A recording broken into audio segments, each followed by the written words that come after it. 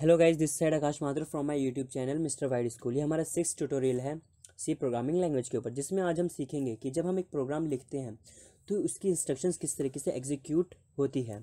और जो हमारा मेन फ़ंक्शन है, वो हमारे लिए इंपॉर्टेंट क्यों है? तो इन दोनों बातों को आज हम डिस्कस करेंगे अपनी वीडियो में। तो चलिए शुरू करते हैं। हम एक प्रोजेक्ट क्रिएट कर लेते हैं यहाँ पर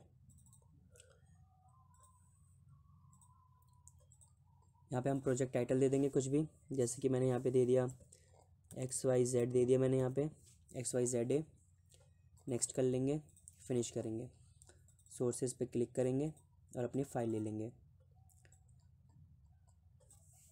और जितनी भी हमारी हेडर फाइल्स हैं, हम उन्हें एक एक करके डिस्कस करेंगे। अभी हम सिर्फ़ S T D O dot H पे ही काम करें जिसपे हमारे दो मेन फ़ंक्शन है प्रिंट ऑफ़ और स्कैन एफ़ तो सबसे पहले हम बात करेंगे कि नॉर्मल प्रिंटिंग में क्या फ़र्क है हमारी और बैक स्लैश एन एन से हमारा क्या फ़र्क पड़ता है और बैक स्लैश टी से हमारा क्या फ़र्क पड़ता है। तो हम यहाँ पे दो तीन प्रिंट एफ़ और लिख लेते हैं।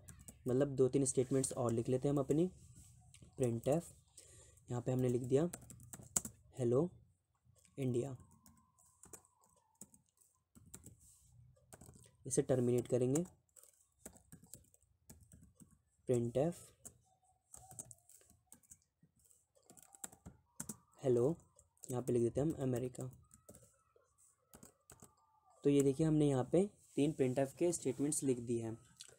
तो अब देखिए, अब हम इसे रन करेंगे तो हमारे पास क्या फ़र्क आएगा? तो हम इसे बिल्ड में जाएँगे कंपाइल करंट फ़ाइल कर देंगे, फिर हम बिल्ड पे जाएँगे बिल्ड एंड रन कर देंगे। तो देखिए, ये हमारे यहाँ पे आ चुका है। पहले हमने लिखा था प्रिंट एफ़ हेलो वर्ड फिर हेलो इंडिया हेलो अमेरिका तो देखिए, एक ही लाइन में हमारी तीनों की तीनों प्रिंट एफ़ की जितनी भी हमारे, हमने अंदर उसके डेटा दिया था, वो एक ही साथ प्रिंट हो रहा है। Hello world hello India hello America तो अगर आप इस तरीके से करेंगे। आपने यहाँ पे टर्मिनेशन लगाया लेकिन आपके यहाँ पे आपकी जो भी इंस्ट्रक्शन है प्रिंट एफ़ की, तीन बार एग्जीक्यूट हो तो रही है अलग अलग लेकिन उनके अंदर के डेटा जो एक ही लाइन में प्रिंट हो रहे हैं। तो इस तरीके से अगर आप नॉर्मल प्रिंटिंग करेंगे तो आपकी एक लाइन में प्रिंटिंग होगी। अब देखिए, अगर मैं इसमें बैक स्लैश एन लगाऊँगा तो क्या फ़र्क आएगा? मैंने यहाँ पे लगा दिया बैक स्लैश एन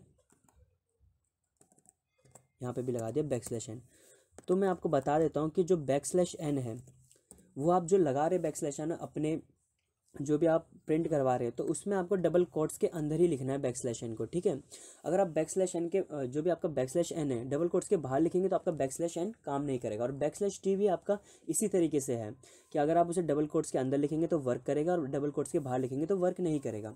तो बैक स्लैश एन क्या करेगा? सबसे पहले जो आपका प्रिंट का ये है तो जो हमारी इंस्ट्रक्शन से जो भी हमारी स्टेटमेंट है वो क्या करता है?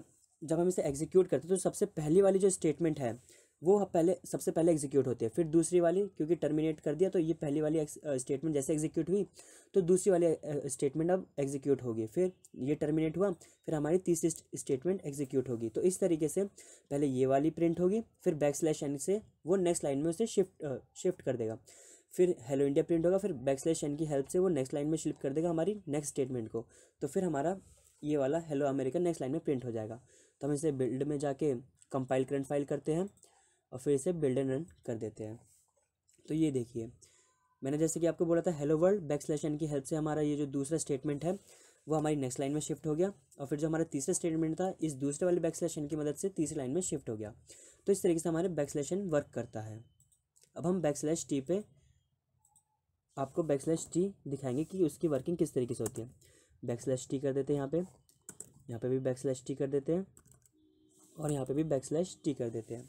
तो बैक स्लैश टी से क्या होगा कि एक टाइप का गैप दे देगा। उसमें हमारे नेक्स्ट लाइन में शिफ्ट कर रहा था, इसमें एक टाइप का हमारे पास गैप आ जाएगा। तो कंपाइल करंट फ़ाइल कर देते हैं और बिल्ड एंड रन कर देते हैं।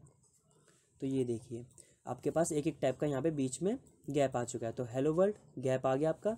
हेलो इंडिया आपका इस तरीके से गैप आ गया। तो जो भी आपका ये है, जो भी आपकी ये स्टेटमेंट्स है तो आपकी लाइन बाय लाइन एग्जीक्यूट होती है। जैसे कि मैंने आपको बताया कि जो भी आप इंस्ट्रक्शंस लिखेंगे और जो भी इंट मेन के अंदर, ये जो हमारे कर्ली ब्रेसेस है, इसके अंदर जितनी भी आपकी इंस्ट्रक्शंस हैं तो आपकी line by line wise execute होगी। सबसे पहली स्टेटमेंट सबसे पहले एग्जीक्यूट होगी और सबसे लास्ट वाली स्टेटमेंट आपकी सबसे लास्ट में जाके एग्जीक्यूट होगी। अब मैं आपको यहाँ पे समझाऊँगा कि हमारा मेन हमारे लिए इंपॉर्टेंट क्यों है। तो ये देखिए तो ये जो हमारा जो डिफरेंस है हमारा मेन फ़ंक्शन का, वो ये है और जो दूसरे फ़ंक्शन हैं, उनका डिफरेंस हमारा ये है कि जो हमारा ऑपरेटिंग सिस्टम है, सबसे पहले कॉल करता हमारे मेन फ़ंक्शन को, ठीक है? तो मेन फ़ंक्शन को उसने कॉल किया। मेन फ़ंक्शन के पास जो भी हमारे फ़ंक्शंस है, अगर वो लिंक है हमारे मेन फ़ंक्शन से तो वो सारे फ़ंक्शंस वर्क करेंगे और वो सारे फ़ंक्शंस एग्जीक्यूट होंगे हमारे, जो भी हमने इन कर्ली ब्रेसेस के अंदर लिखे हैं। अगर ये हमारे फ़ंक्शंस लिंक नहीं हुए हमारे मेन के साथ तो वो फ़ंक्शंस वर्क नहीं करेंगे। जैसे कि मैं आपको यहाँ पे करके दिखाता हूँ। इसे हम कमेंट बना देते हैं। देखिए हमारा कमेंट बन गया। अब मैं इसे यहाँ से हटा देता हूँ।